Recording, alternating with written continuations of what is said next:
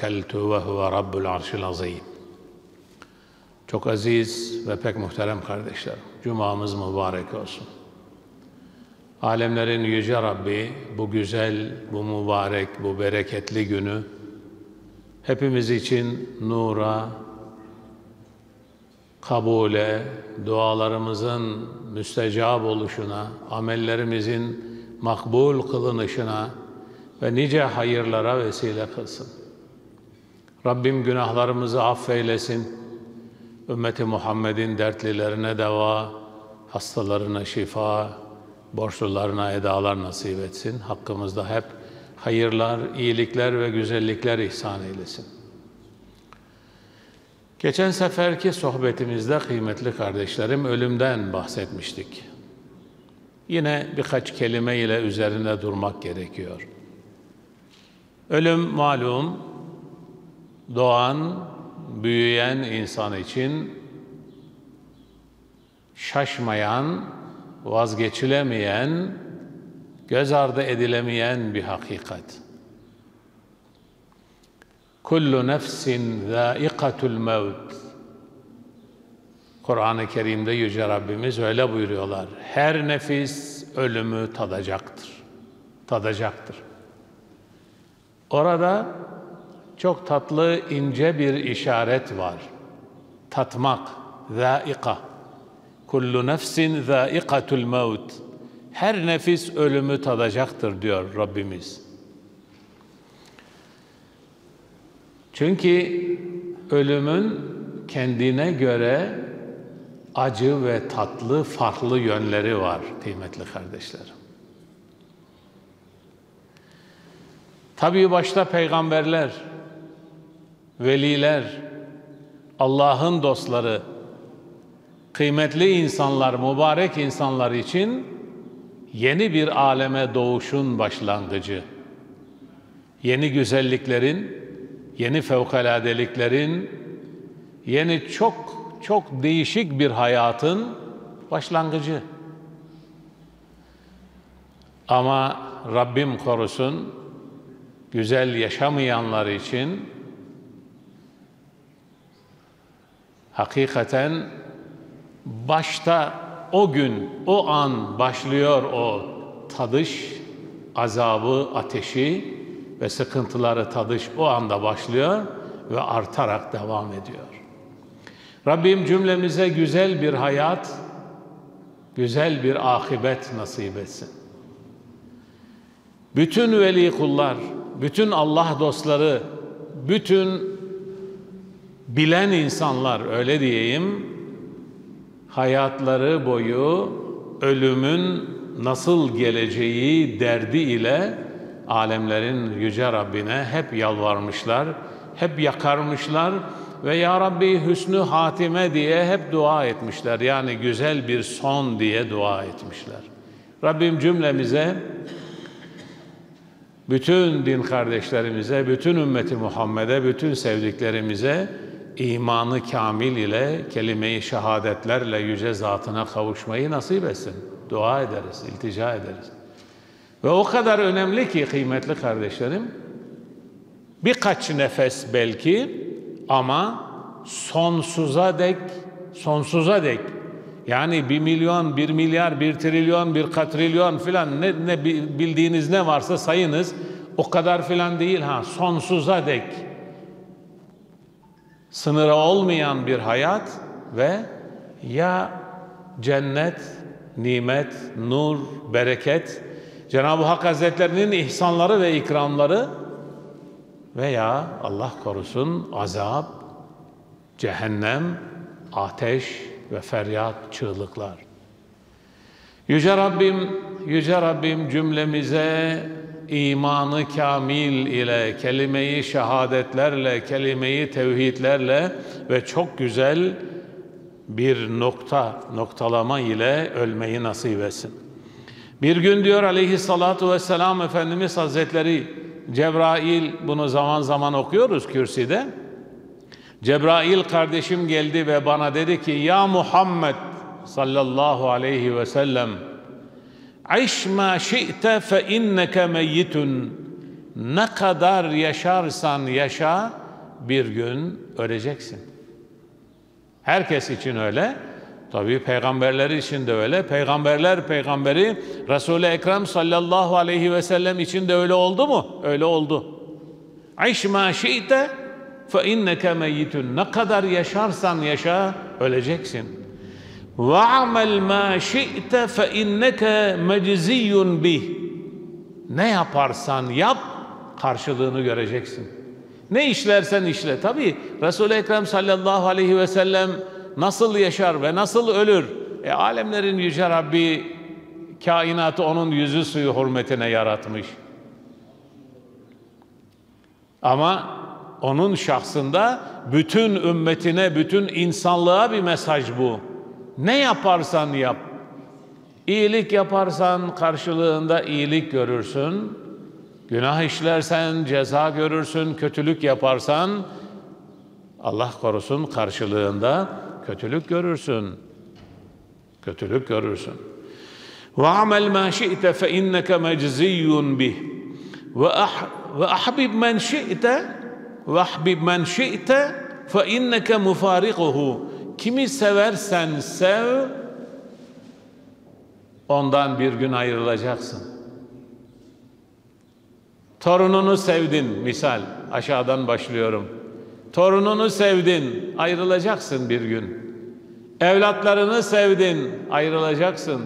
Eşini sevdin, ayrılacaksın. Hem de en çok sevdiklerin kendi elleriyle gelecekler, seni kabristana koyacaklar, üzerine de bir kamyon toprağı örtüp, ondan sonra da seni yapayalnız amellerinle baş başa bırakıp gidecekler. Kimi seversen sev. Hiç şimdiye kadar ben eşimi çok seviyordum deyip de beraber kabre gireni gördünüz mü kıymetli kardeşlerim? Yok. Olmuyor öyle bir şey. Hakikaten birbirini çok seven insanları tarihi yazıyor. Ama hiç beraberinde kabre giren yok. Olacak şey değil çünkü. Anneni sev, ayrılacaksın. Babanı sev, ayrılacaksın. dedeni sev, nineni, her neyse kimi. Arkadaşını sev, dostunu sev. Hatta Allah için birbirini sevenler bile bir gün birbirlerinden ayrılacaklar. Rabbim sevdiklerimizle ahirette cennetinde cemalinin karşısında nimetler ve devletler içerisinde beraber olmayı nasip etsin. Başta Resul-i Ekrem sallallahu aleyhi ve selleme yüce Rabbim komşu eylesin. Sonra da diğer peygamberler, ashab-ı kiram efendilerimiz, müştehit imamlarımız, alimler, Allah dostları, faziletli insanlar, bereketli insanlar ve güzel insanlarla bir ve beraber olmayı Yüce Rabbim cümlemize lütfetsin. Dilediğini sev, istediğini sev, bir gün mutlaka ayrılacaksın. Ve alem, Cebrail aleyhisselam şöyle söylüyor.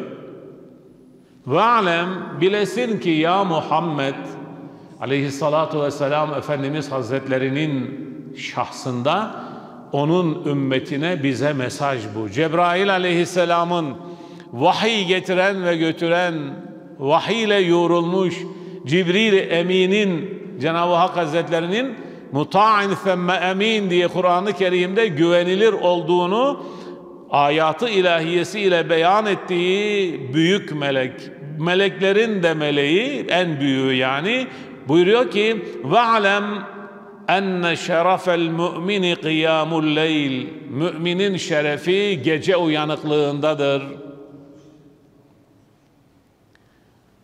Bilmiyorum.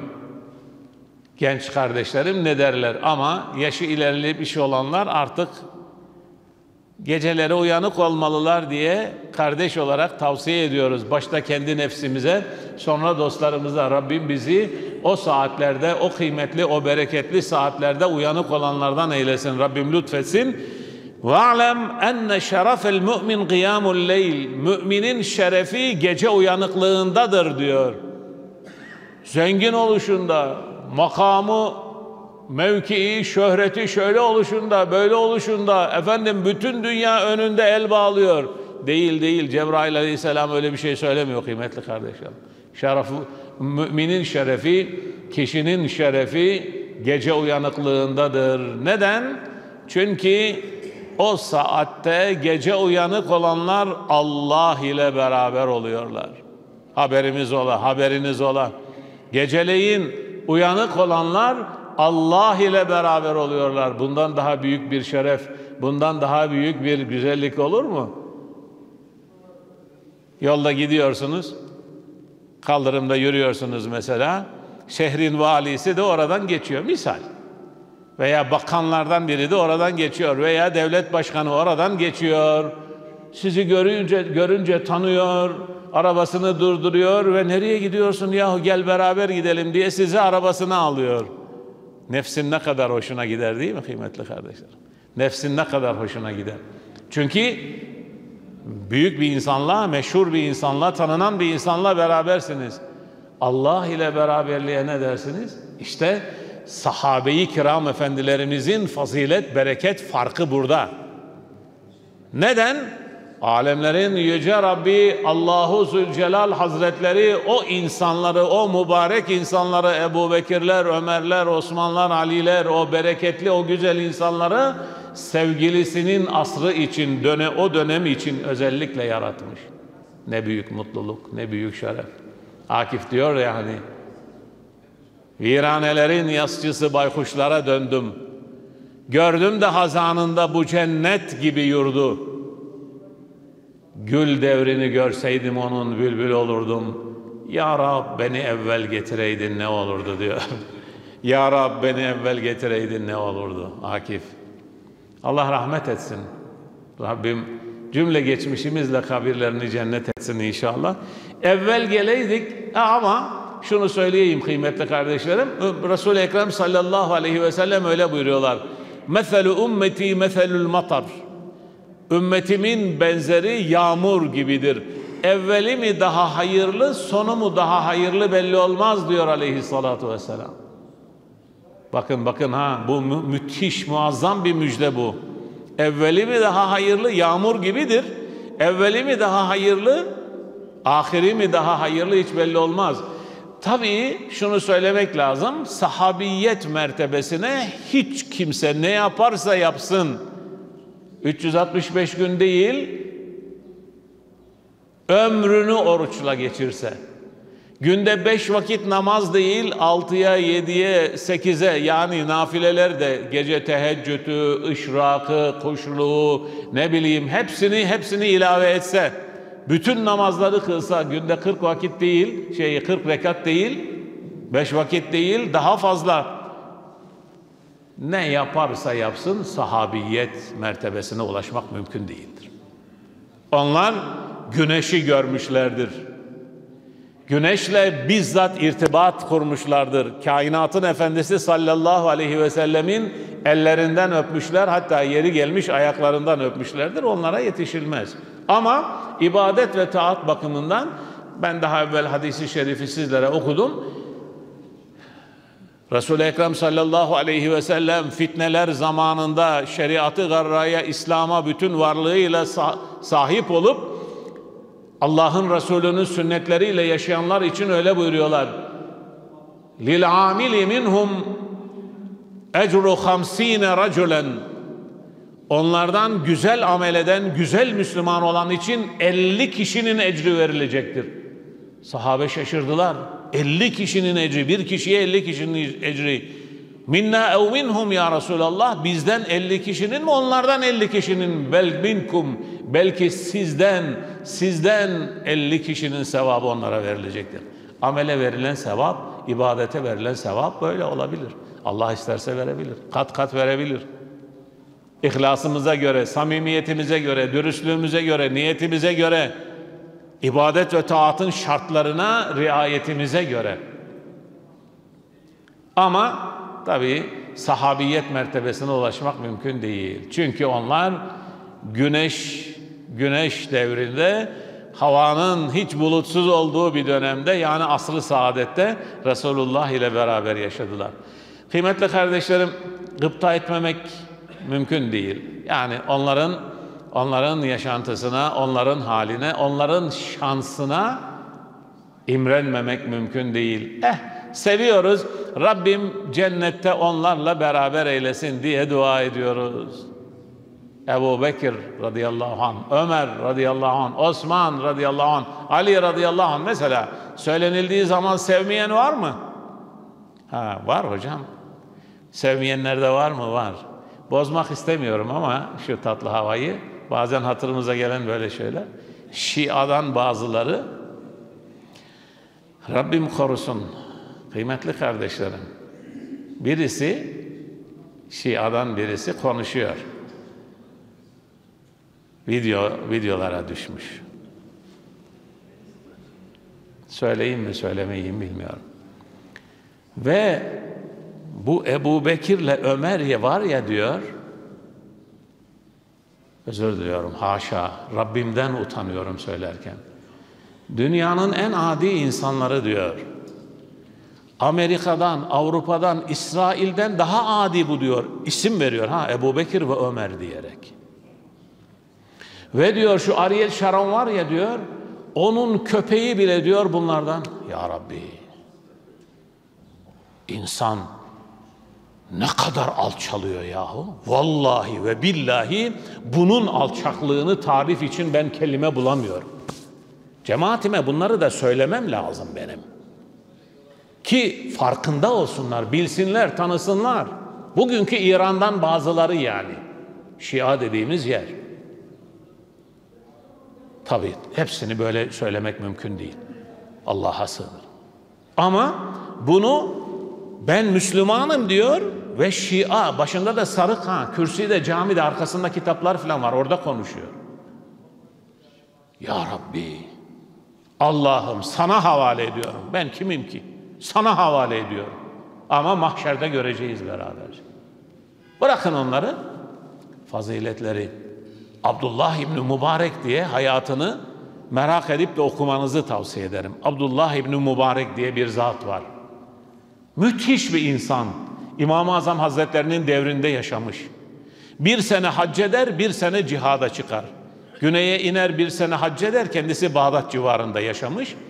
Ama inanın böyle faziletini, şerefini, bereketini, ilmini, efendim insanlığını anlatacak onun da kelime bulamıyorum. O kadar faziletli mübarek bir insan. Ümmeti Muhammed'in yetiştirdiği zirve şahsiyetlerden biri. İmam-ı Azamlar gibi, İmam-ı Şah, İmam Şafiler gibi. Sormuşlar kendisine bir gün, bilen de bir insan, hadis ilmindeki en büyük otoritelerden. Allah rahmet etsin. Hocam bana onun hayatını konu olarak vermişti de İslam Enstitüsü talebesiyken hayatını seminer olarak mezuniyet semineri olarak çalışmıştım. Ben de öyle tanıdım doğrusu. Hayran olunacak bir insan. Şefaati yerlere kapanılıp da Ya Rabbi lütfet şefain, şefaatine mazhar kıl bizleri diye dua edilecek bir insan. İnanın böyle yani insanüstü yaşamaları, insanüstü yaşantıları öyle.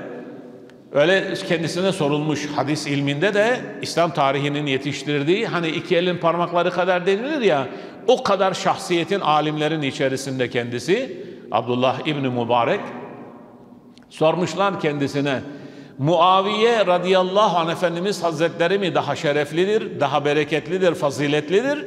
Yoksa Ömer İbn Abdülaziz, Hazreti Ömer'in oğlundan torunu olan, Emevi halifesi olan, bütün dünyanın bir veli olan, kendisine gıpta ile baktığı Ömer İbn Abdülaziz mi daha aftaldir? Tebessüm ediyor böyle Abdullah İbni Mübarek. Resul-i Ekrem sallallahu aleyhi ve sellem ile beraber olduğu bir seferde atının burnuna kaçan toz Ömer İbni Abdülaziz'den bin defa daha aftaldır diyor. Bu, bu ilmin sözü bu. Bunu izah, öyle yani kürsüde söyleyiverip geçmekle olmaz. Bunu delilleriyle ispat etmek lazım ama vaktimiz yok tabii. Sahabe-i kiram böyle insanlar. Ki üzerinde konuşulan haşa biz kimiz ki konuşacağız? Muaviye radıyallahu anh Efendimiz Hazretleri için Abdullah İbni Mübarek'in bir ilim adamının söylediği söz bu. Bilen insanın söylediği söz. Ebu Bekir, Ömer, Osman, Ali. ya onları bizim dilimiz, bu kısır kelimelerimiz, e, kısır cümlelerimiz tarife yol bulamaz. Faziletlerini ve şereflerini anlatmaya. Ama insan adileşti ve alçaklaştı mı Allah korusun. Ya hocam ne diyeceksin? Bu insanlar Hazreti Peygamber'i beğenmiyorlar. Doğrudur. Peygamberleri beğenmiyorlar. Doğrudur. Allah haşa Allah'ı beğenmiyorlar da gidiyorlar fareye tapıyorlar insanlar. İnsan bu işte. Maymuna tapıyorlar, ineğe tapıyorlar, putlara tapıyorlar. Haşa alemlerin yüce Rabbi Allahu Zülcelal Hazretlerini bırakıp da Ya Rabbi, Ya Rabbi bizi iman üzere sabit kadem kıl Allah'ım. Evet. Ve'lem enne şerefel mümin şerefel mümin kıyamul leyl demişti Cebrail aleyhisselam Resulullah'a ve izzuhu istighnauhu anin nas izzeti de vakarını koruması da insanlardan müstahni olmasına bağlıdır. Kimsenin elinde olan da gözümüz olmayacak. Kimsenin elinde. Zengin olmuş, villalarda yaşıyor, saraylarda yaşıyor. Efendim arabası şöyle, iş yeri böyle filan. Olsun. Dünyalık değil mi? El kiri. Herkes herkes işte birkaç metre bir kumaşı alacak ve onunla gidecek. Evet. Yunus Emre'ye demişler yahu üstad biz bu Yunus Emre de çok büyük insan ha. Rabbim şefaatine nail etsin. Babacığım rahmetullahi aleyh öyle derdi. Yunus gibi bir dervişlik bulabilsem derdi. Sarı, cübbeyi, kürsiyi, filanı falanı hepini, hepsini size bırakacağım. Kendimi dağlara alıp çekip gideceğim derdi. Yunus gibi bir dervişlik bulabilsem. Ah, Mevlana'mız öyle diyor. Mana aleminde hangi yola Mevlana söylüyor bunu koca Mevlana. Aşıklar Sultanı Mevlana söylüyor. Mana aleminde hangi yola girmişsem bir Türkmen kocasının bir Türkmen kocasının benden evvel o yollardan geçtiğini gördüm hep diyor Mevlana. Rabbim şefaatlerine nail etsin inşallah. Yunus Emre'den bahsediyor. Demişler ki yahu sultanımız, efendimiz, seyyidimiz Yunus Emre'ye cemaat etrafındaki sevenleri bize şu dünyayı bir anlat. Biz bu dünyaya bir türlü akıl erdiremedik, sırrını çözemedik. Perişan ediyor bu dünya ve dünyalık bizi bir anlat. E demiş yarın köyün meydanında toplanın size anlatayım dünyayı. Dünyanın ne olduğunu anlatayım size. Etraf köylere falan haber vermişler. Hani şimdi yağmur dualarında olduğu gibi Rabbimin rahmetine hamd ediyoruz, şükrediyoruz. Binlerce o günün dünyasında insanlar toplanmış. Yunus Emre şöyle yüksekçe bir yere çıkmış. Öyle öyle buyurmuşlar. Ana rahminden çıktım pazara. Bir kefen aldım, döndüm mezara. Dünya bu demiş işte. Dünya bu. Dostlar, kıymetli kardeşlerim, başlar kendi nefsime söylüyor. Resulullah öyle buyuruyorlar. Ölüm denilen şey ayakkabınızın tasması kadar size yakın. Hemen tut şöyle tutuvereceğiniz şekilde. Ayakkabınızın tasması kadar size yakın. Ayakkabınızın bağları kadar size yakın. Yani hemen şuradan kürsüden inebilecek miyiz? Belli değil. Kapıdan çıkabilecek miyiz? Belli değil. Eve varabilecek miyiz? Belli değil, değil, değil, değil. Ve de onu söylüyorum. Onu anlatmaya çalışıyorum kendime ve kardeşlerime. Geldi mi? La yestahirun sa'aten ve la yestakdimun. Ne bir an bir saat ileri giriyor ne bir an geri kalmıyor. Hazır ol vaktine. yani böyle birkaç hafta ölüm konusunu Rabbim nasip ederse devam ettirmek lazım, e, istiyorum. Çünkü Resul-i Ekrem sallallahu aleyhi ve sellem öyle buyuruyorlar. Bu dünyalık zevkleri kıran şeyi çokça zikredin. Nedir o? Ölümdür. Ölümü çokça hatırlayın. Çokça konuşun. Aranızda istişare edin. Birbirinizi hatırlatın evde mesela. Gençleri hadi bırakın. Ama bizim yaşımızda olanlar artık kabre hazırlanmalı kıymetli kardeşlerim. Resul-i Ekrem sallallahu aleyhi ve sellemin vefatı 63. 63. Hem de hicri tarihle, miladi tarihle 61 aleyhissalatu vesselam. Biz ona ne kadar yakınız? Kaldı ki o ölçü değil biliyorsunuz. Resul-i Ekrem sallallahu aleyhi ve sellem vahyi getirdiler, İslam'ı tamamladılar. Evvelki hafta okumuştuk. El yevme ekmeltu lekum dinekum ve etmemtu aleykum ni'meti ve raditu lekumul İslam dina. Din tamamlandı. Sonra bir gün durmadı tabir yerinde olursa eğer. Bir gün durmadı aleyhissalatu vesselam. Dünyanın meşakkati, çilesi, kederi, vefatı anında Hazreti Ayşe annemiz öyle diyor. Resul-i Ekrem sallallahu aleyhi ve sellemin üzerinde bulunan örtüsüne yatak örtüsü yani hani biz bazen pike diyoruz bazen yorgan diyoruz mevsime göre değişiyor ya üzerinde örtülü olan diyor o parçanın efendim yorganın üzerine elimi koymuştum diyor. Resul-i Ekrem sallallahu aleyhi ve sellemin vücudunun ateşi yorganın üzerine çıkmıştı diyor. Pikenin üzerine çıkmıştı. Allah'ın Resulü kainatın efendisi. Efendiler biz neyimize güveniyoruz yahu? Biz neyimize güveniyoruz da günaha giriyoruz gençler? Allah aşkına söyleyin bana neye güveniyor da insanlar namaz kılmıyorlar? Nelerine güveniyorlar da asi oluyorlar, içki içiyorlar, zina ediyorlar, kumar, kumar oynuyorlar veya Allah'a asi oluyorlar. Ne, neyine güveniyor bu insanlar? Gençlere namaz dediğimiz zaman yüzümüze bakıyor böyle. Daha zamanı var hocam diye. Yahu baba olmuşsun artık. Çoluk çocuğa karmışsın dedemin tabiriyle. Yani daha 12-13 yaşındaki çocuk değilsin ki 30 olmuş yaş, 35 olmuş, 40'a merdiven dayamışsın. Hala namazlarda ihmalin var.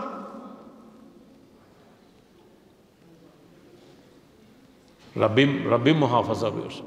Rabbim gençliğimize, şimdi dün dostlarımızdan biriyle böyle telefonla konuştum da ya hocam diyor yani sokaklar berbat, perişan. Gerçekten öyle. Konya'nın caddeleri ve sokakları bile yani. Yaz geldi diye şimdi aman Allah'ım aman Allah'ım. Kimler bunlar? Senin benim doğurduğumuz çocuklar. Konyalı'nın evlatları. Bunlar Avrupa'dan gelmiş turistler değil ki. Onlar hadi neyse. Konyalı'nın evlatları. Şurada Erenköy'de zaman zaman sizinle paylaşıyorum, söylüyorum. Sokağa hava almaya geliyorlar. Kılıklarına, kıyafetlerine bakıyorum. Vallahi Avrupalı'dan neredeyse çok daha inanın böyle Avrupalı kendine göre bir alemin içerisinde. Yerine göre fuhşiyat, yerine göre kötülük, yerine göre içki. Yerine, olan hani la isme ba'del küfür derler büyüklerimiz.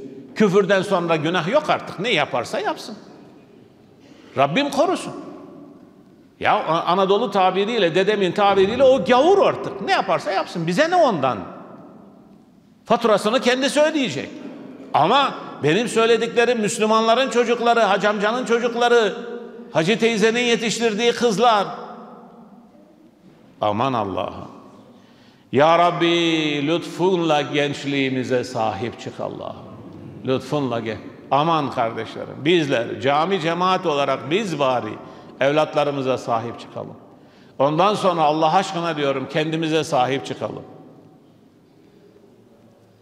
Ölüm geldi mi neyin varsa o ana kadar onunla alıp gidiyor, alıp götürüyor. Eğer güzel yaşamışsa hayırlı ve mübarek olsun. Ölümden korkmak yok. Ölümden korkmayacağız inşallah kıymetli kardeşler. Çünkü alemlerin yüce Rabbi olan Allah'a gidiş. Amellerimizden korkacağız, kendi halimizden korkacağız. Biz neyiz? Nasıl yaşıyoruz? Ne alemdeyiz? Ne yapıyoruz? Ne yiyoruz? Ne içiyoruz?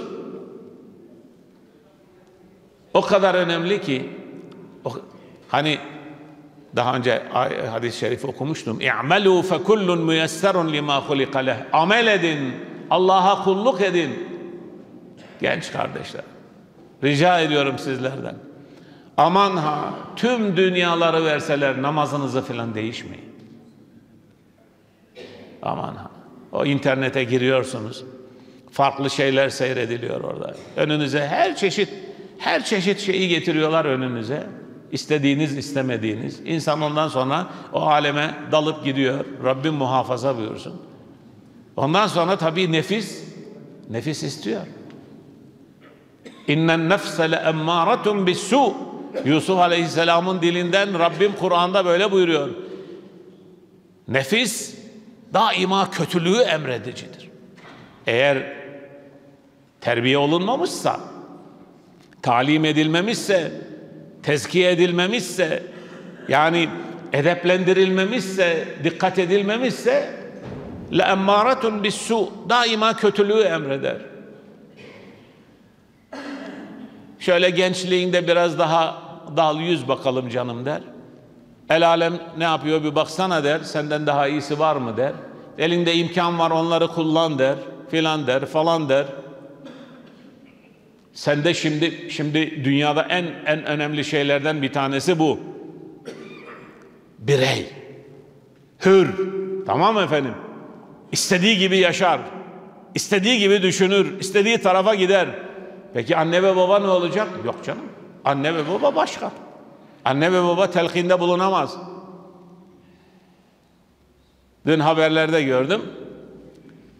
Çocuklar için bir dünya meydana getirmişler. İstedikleri her şeyi yapıyorlar orada çocuklar. İsteyen mesela güzel, güzel. Memleketimizin gençliği gelişmeli, çalışmalı, gayret etmeli, öğrenmeli, bilmeli. Sakın yanlış anlamayın. Tamam. Bir, bir böyle bir hani köy diyorlar ya böyle bir köy çocuklar için yapmışlar. İçinde her şey var. İsteyen uçak kullanıyor mesela. İsteyen gemi kullanıyor. Arzu eden, isteyen ne bileyim araba kullanıyor, şunu yapıyor, bunu yapıyor. Efendim sokak temizliyor. Her şey var içinde. Orayı ama dikkat ettim. Acaba bir kenarda da bir mescit, bir cami var diyecekler mi ki acaba diye haberlerde. Öyle bir şey söylemediler. İbadetlerini de öğreniyor, orada kulluğu da öğreniyor, öyle bir şey söylemediler. İsterse füzeye binip astronot olarak hayal aleminde tabii yani kurgu olarak semaya arzu, yukarıya çıkabiliyor. E peki ibadet ibadet ve taattan haberi olmazsa o yavruların. Sonra oranın müdürü durumunda olan bir görevliyle konuşuyorlar. İşte gençlerimizin hür düşünceli olarak buna benzer sözler söylüyor. Ve de kendilerine güvenleri olarak büyümelerini, yetişmelerini istiyoruz. Gelecek, tamam. Gelecekte hakikaten şahsiyetli bireyler olsunlar İstediklerini yapsınlar, diledikleri mesleği seçsinler, memlekete faydalı olsunlar, büyük adam olsunlar. Efendim fizik sahasında, kimya sahasında, tıp doktorluğunda mesela çok ilerlesinler ama aynı zamanda Allah'a kul olsunlar da istiyoruz biz. Allah'a da kul olsunlar. Mani yok. Tanıdığım sayısız doktor arkadaşım var. Beş vakit namazını da kılıyor, doktorluğunu da yapıyor. Mesela hukuk sahasında kardeşlerimiz var. Hakimliğini, savcılığını da yapıyor. Namazını da kılıyor.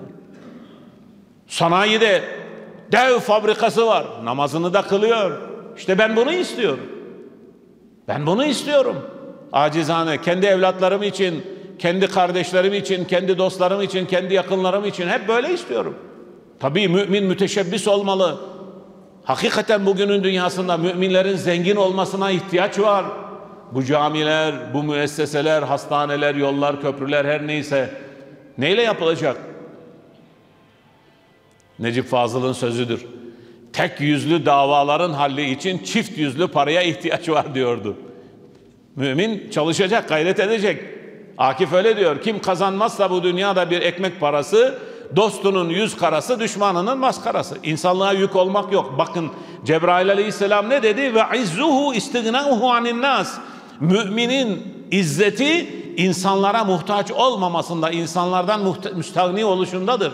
Yük olmayacağız kimseye. Kimseye. Ne anamıza, ne babamıza, ne eşimize, ne bileyim ne çocuklarımıza, ne akrabalarımıza, ne dostlarımıza yük olmayacağız. Aleyhissalatu vesselama Cebrail aleyhisselamın bu sözü. Ama Allah'a da kul olacağız. Genç kardeşlerim. Bu camiye gelen bu camiye gelen kişilerin cemaatiyle, hocasıyla böyle farkı olmalı diye düşünüyorum. Yani bütün cami cemaatinin. Elbette dünyamızı kazanacağız. Kimseye yük olmayacağız. Tamam efendim?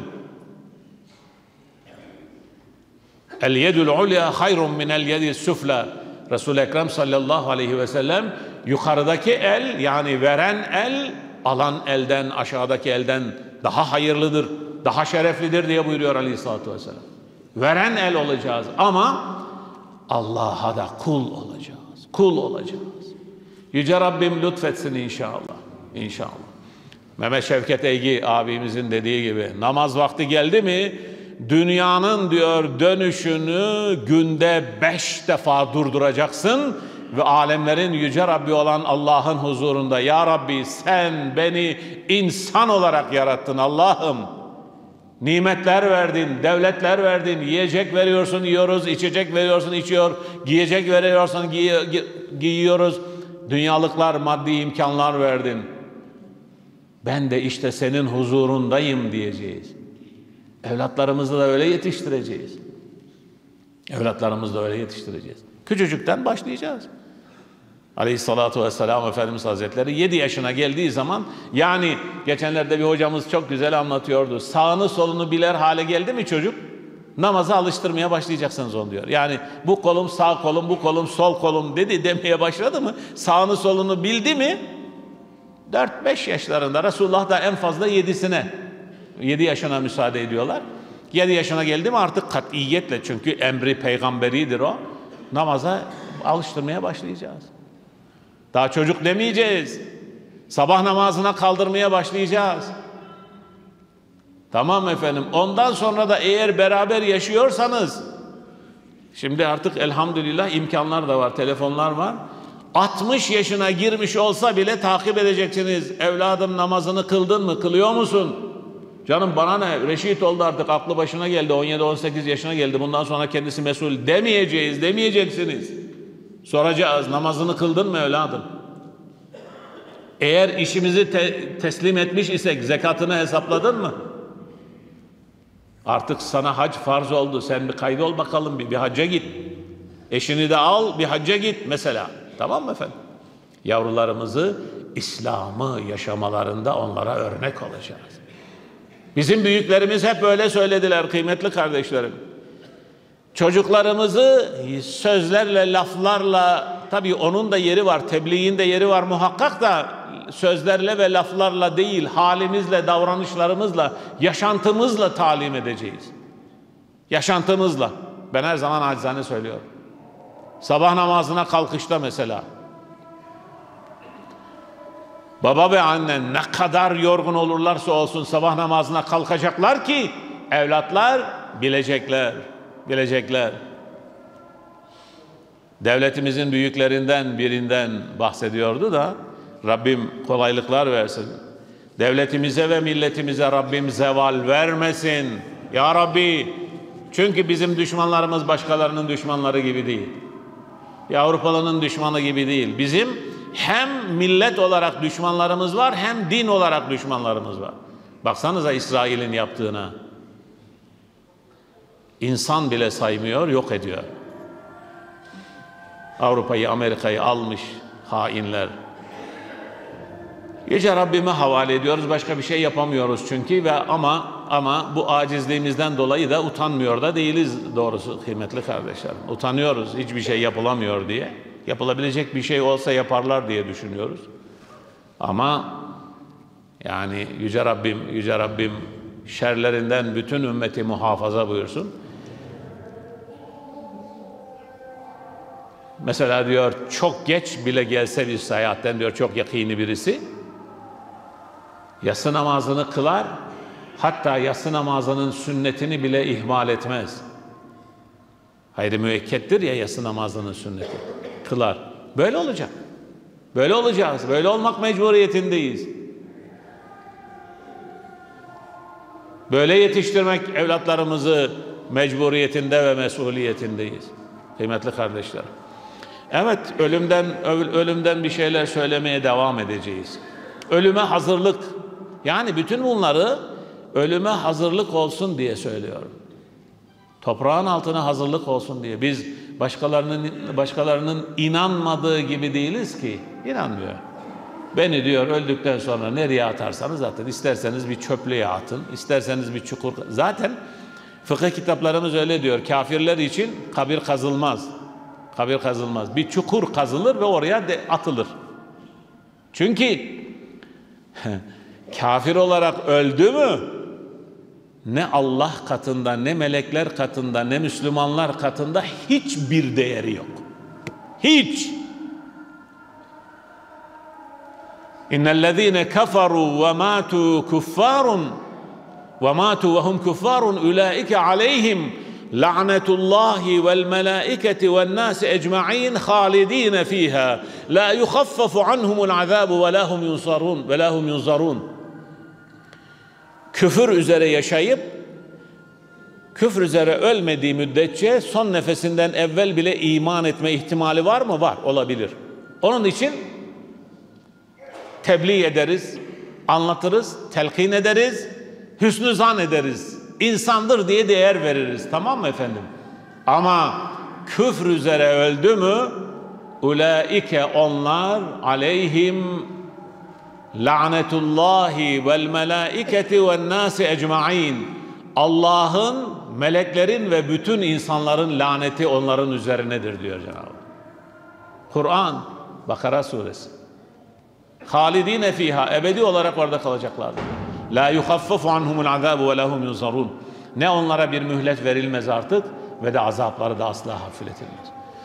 O günden o günden tabii mümin mümin olduğumuz halde ahirete inanıyor, kabir azabına inanıyor. Şimdi moda oldu. Hocaların bile arasında artık kabir azabı. İnşallah o konuya da gireceğim. Gelecek haftalarda Rabbim ömür verirse o konuya da gireceğim. Kur'an-ı Kerim'de kabir azabı azabul kabr olarak hakikaten geçmiyor kıymetli kardeşler. Efendim ayetlerde yok. Çok özür diliyorum. Ulan güya hocasın sen.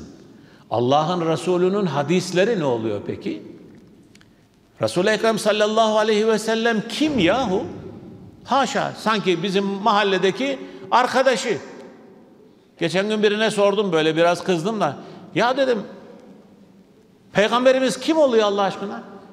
Ya diyor beş vakit namazında falan bir arkadaş yani. Bunların tesirinde kaldığı için. Ya diyor o da diyor bizim gibi bir insan diyor. Yani Muhammed diyor. Abdullah'ın oğlu Muhammed diyor. O da bizim gibi bir insan diyor. Allah Allah. Ya dedim özür diliyorum kıymetli kardeşlerim. Ya sen halt ediyorsun be dedim. Beş vakit namazında falan bir arkadaşımız ha. Hocalar, ilahiyatçılar söylüyor bunu. Resul-i Ekrem sallallahu aleyhi ve sellem öyle tesadüfen gelmiş. Kur'an-ı Kerim aktarmış sonra da ölmüş gitmiş yok olmuş. Haşa. Haşa. Ulan Allah'ın Resulü be o. Muhammedur Resulullah. Kur'an-ı Kerim. Ve inneke le ala hulukin azim. Muhammed'im sen çok yüce bir ahlak üzeresin. Ve ma Muhammedun illa Resul.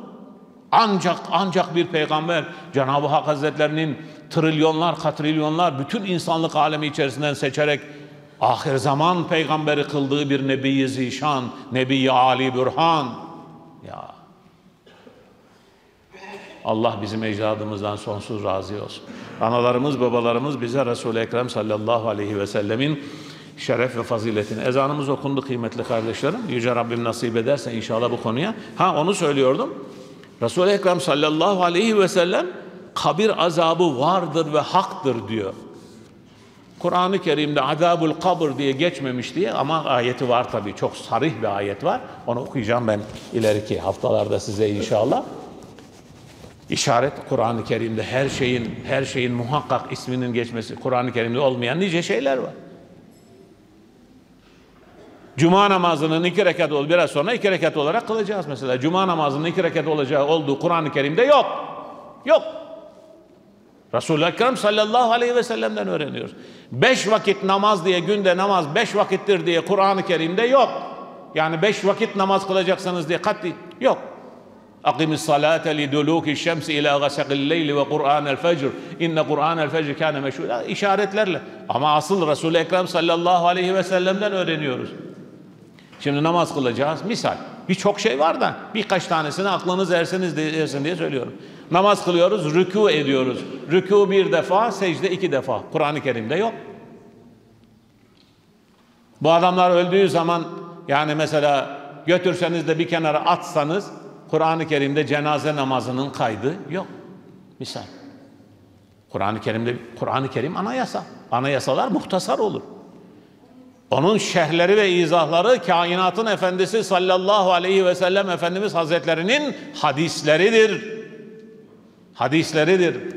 Hadis olmadan Resul-i Ekrem sallallahu aleyhi ve selleme müracaat etmeden Müslüman olunmaz. Allah'ın Resulü'nün hadisleri olmadan Kur'an-ı Kerim'de yaşanılamaz. Bakınız önümde Kur'an'la söylüyorum. Kur'an da beni teyit ediyor. وَمَا آتَاكُمُ الرَّسُولُ فَخُذُوهُ وَمَا نَهَاكُمْ عَنْهُ فَانْتَهُوا